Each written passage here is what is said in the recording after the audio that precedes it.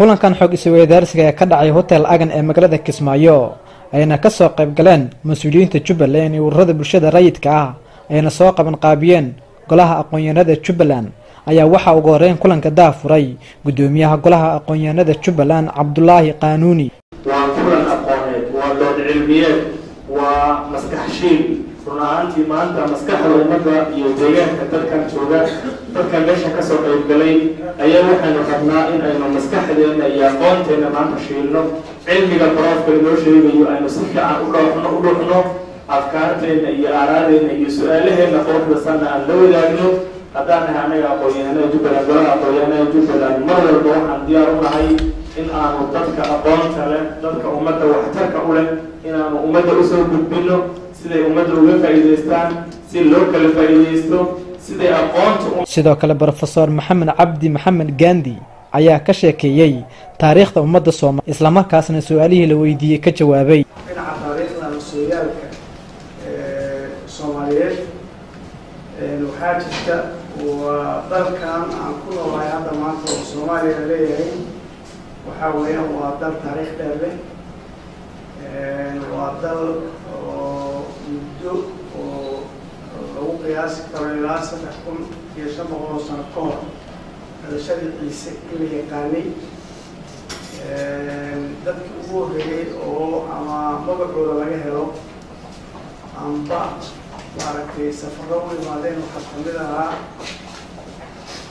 faraacadadii masaarida taas waxaa weeyaan in oo bulshadu ayna fadhiyin oo maalin walba qabiil cusub iska ani raba inaan ana annaga carta markaan joogay waxay four pointy five in carta lagaga baxo laguna soo noqon. Haddana waa rasmi. Waxaa laga yaabaa in iska waarto mugta waxay dad baa dani ku jirtaa. Laakiin sax ma aha. Waa in laga gudbo. Waa inuu qofku meeshuu rabo. Isagoo barnaamij siyaasadeed oo ku karo. Isaga oo wax uu dalka ku difaaco oo uu dalka ku hago. Wato meel kasta intuu tago uu kari karo in uu maaragtay ka shaqayn karo inuu ka istaagi karo. Laakiin hadda shuruud iyo dabin baa lagu dhigay. Waxaa lagu maray afar iyo barhkaas waa inaad soo marto.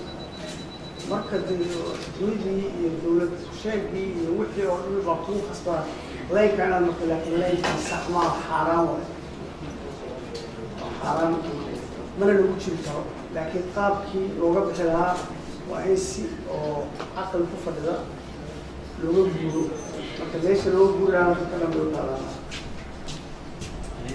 ugu dambeyn wasiir ku-xigeenka wasaaradda maaliyadda maamul goboleedka soomaaliyeed iyo jubbaland xirsi jaamac gaani oo hadalka qaatay ayaa sheegay. Xukuumad ahaan aada iyo aad ayaan u soo dhaweynaynaa niqaashaadkan iyo xalaqooyinkan iyo kulamadan iyo wadahadallada noocan oo kalea aada ayaan u soo dhaweynaynaa maxaa yeelay garaadka waxyaabaha kordhiya ayay ka mid tahay waxyaabaha isdhexgalka bulshada xoojiya ayay ka mid tahay.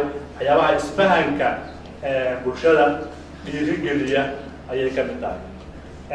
Waxaan rabaa inaan soo gebagabeeyo oon ku soo gebagabeeyo horta professorka xildhibaankeenna waxaan rabaa inaan u mahad celiyo bandhigii iyo geesinimadii jiiridda lahayd ee uu maarata muwaadicda qaarkood u daraaseeyey midda kale aan u mahad celinayo waxa weeyaan forumkan forumka jubbaland intellectual forum oo iyaguna maarata ay soo abaabulay kulankan soo abaabulay.